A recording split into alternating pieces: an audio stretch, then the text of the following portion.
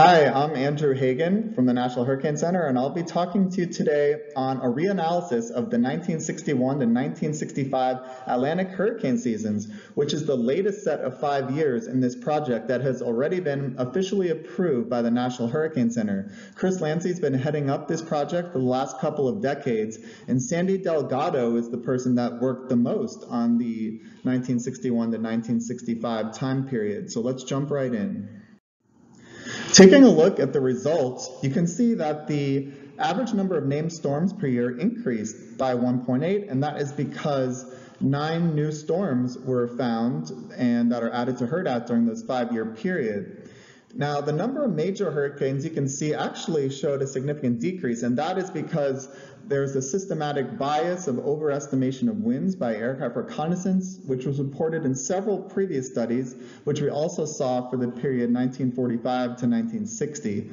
Taking a look at the U.S. landfalling hurricanes, uh, there was one fewer hurricane and also one less major hurricane during that time period. So what happened with that is that the uh, category one, and I'm going to talk about which storms these are on the next couple slides.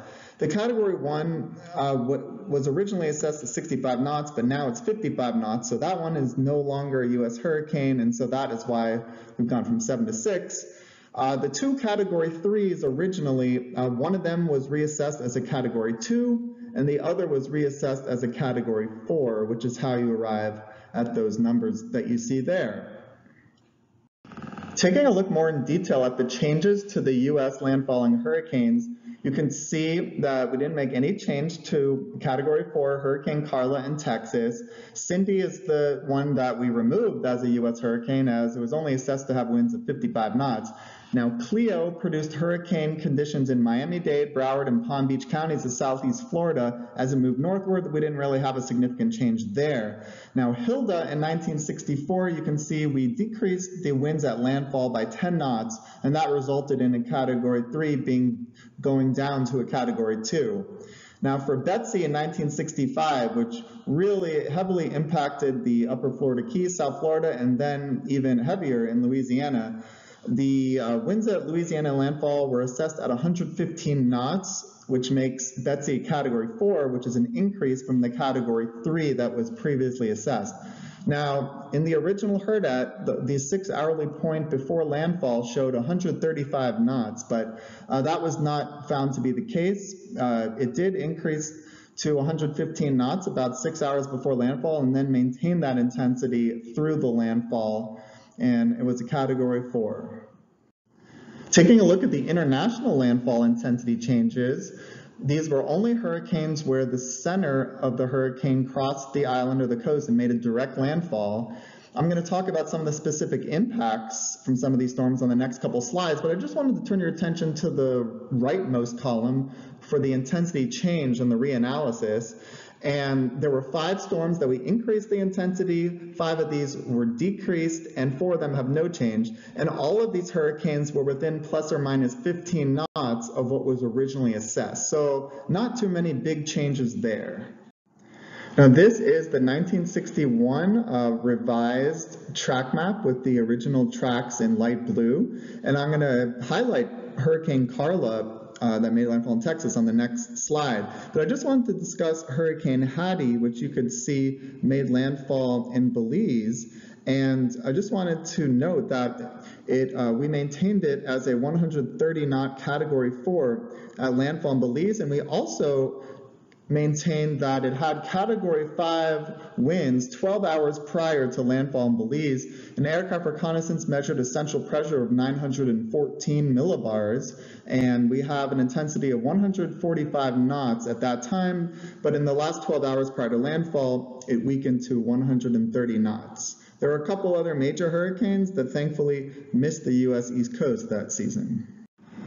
Hurricane Carla was one of the largest and strongest storms in Texas history with 125 knots of landfall and 931 millibars.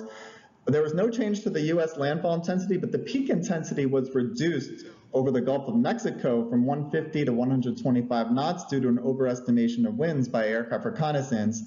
The storm produced a surge as high as 22 feet, and sustained hurricane force winds occurred at all points on the coast between Corpus Christi and Galveston.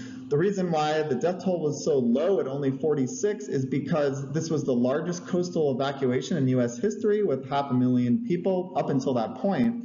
Hurricane warnings were issued two days prior. Now, one uh, fact is that this was one of two hurricanes ever to have ever known to have produced an F4 tornado, which went over Galveston, killing eight people.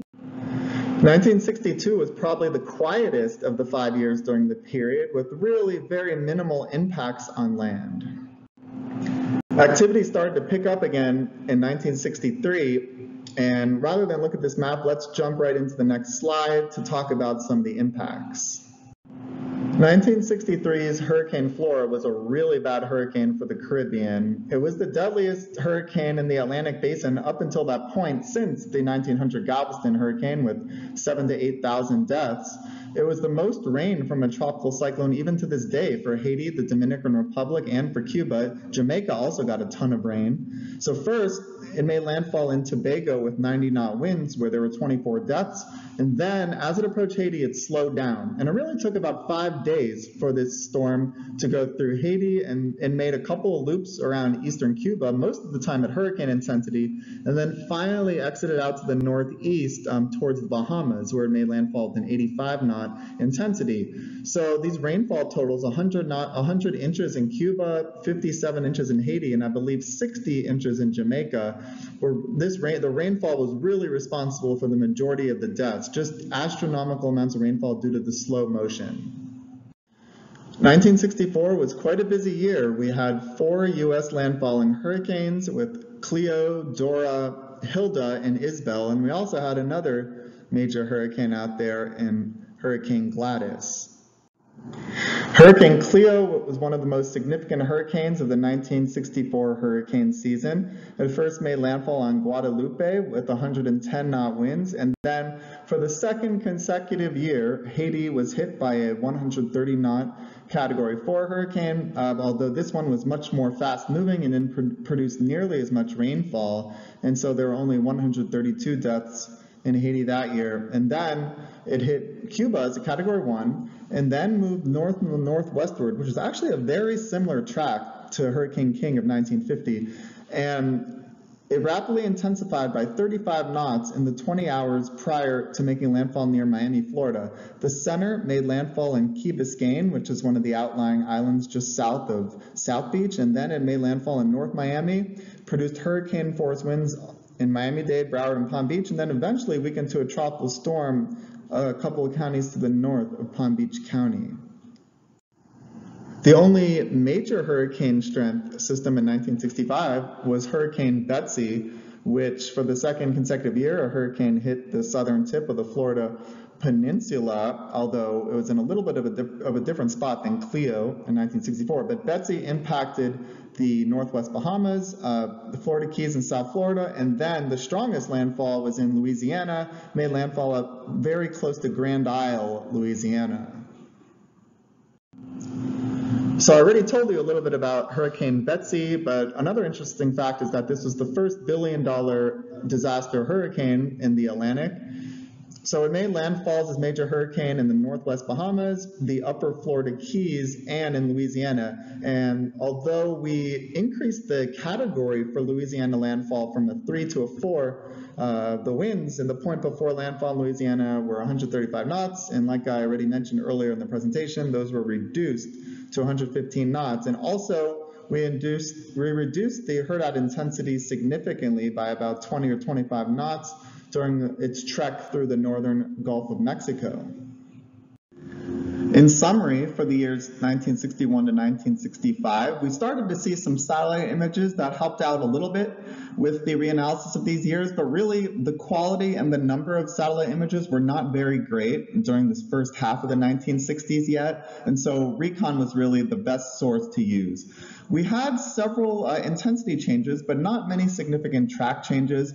There were a number of changes to the genesis timing and extensions as a post-tropical cyclone at the end of the systems. We had nine new tropical storms during the five-year period, but the number of major hurricanes decreased due to the overestimation of winds by aircraft reconnaissance.